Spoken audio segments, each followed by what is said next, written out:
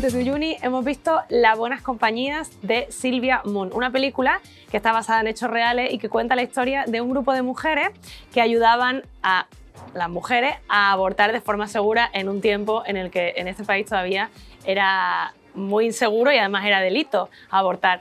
Em, bueno, es una película que funciona en todos los sentidos, da la sensación que todos los elementos están perfectamente eh, enfocados a que la historia sea contada de una manera que, llegue.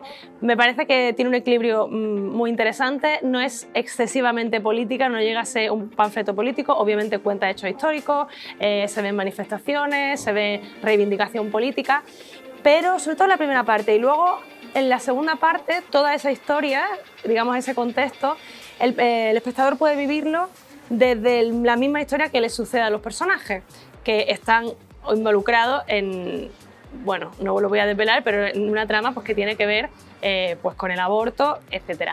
Lo más interesante para mí de la película es la interpretación de Alicia Falcó, eh, una actriz muy jovencita eh, que yo personalmente no la había visto antes y creo que tiene una interpretación muy, muy, muy interesante. Va desde gran contención emocional, una mirada muy profunda que expresa mucha rabia, mucha tristeza y luego también en momentos donde la escena pide más explosión emocional, también tiene como mucha onda expansiva, vibratoria eh, de energía ¿no? y de emoción y eso me parece muy interesante, sobre todo eh, siendo una actriz tan joven, ¿no? porque los actores, ¿no? Pues cada vez que con los años uno va adquiriendo experiencia en la vida, como el crecimiento de un actor tiene que ver también con el crecimiento de la vida, ¿no? Y uno va adquiriendo profundidad y se va curando, como se curan los vinos, como se cura el queso.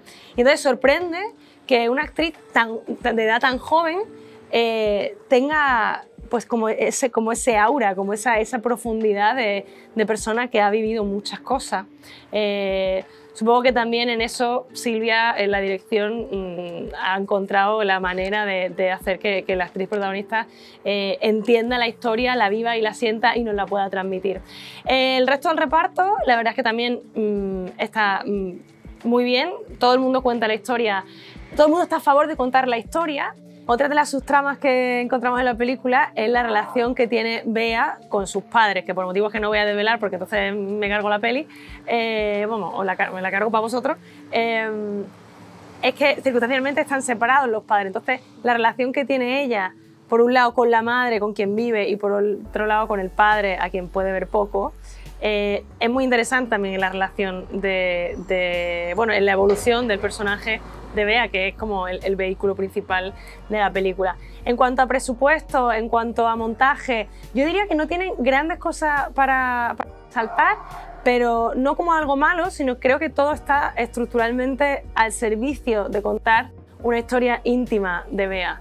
Eh, entonces, bueno, no tiene grandes innovaciones en cuanto a planos, no tiene grandes mm, escenas, de, tiene alguna escena de acción, tiene escenas pues con bastante gente en la manifestación, pero no, no, no hace falta resaltar eso porque diría que la directora se ha querido concentrar en contar en primera persona una de esas historias que en realidad cuenta la historia de muchas mujeres que desgraciadamente tuvieron que vivir eh, esos sucesos de mm, verse en situaciones de querer o tener que abortar y, no poder, y las diferentes soluciones pues, que había en el momento, que eran desde irse al extranjero hasta hacerse prácticamente automutilarse, eh, e intentar abortar con agujas, perchas y otras barbaridades que, por el miedo y por el bueno, por el miedo y por la presión social de no tener libertad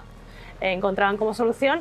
Y también las afortunadas que podían mm, contar con apoyo eh, emocional para, en el proceso, tanto si salía bien como si salía mal, de enfrentarse a, algo tan duro como, como el aborto. Amigos, Uyuni está en cualquier parte. Recordaros, suscribiros, like, follow. Todo eso nos ayuda mucho. Nos hace mucho bien. Suscríbete, hombre, suscríbete. Yeah.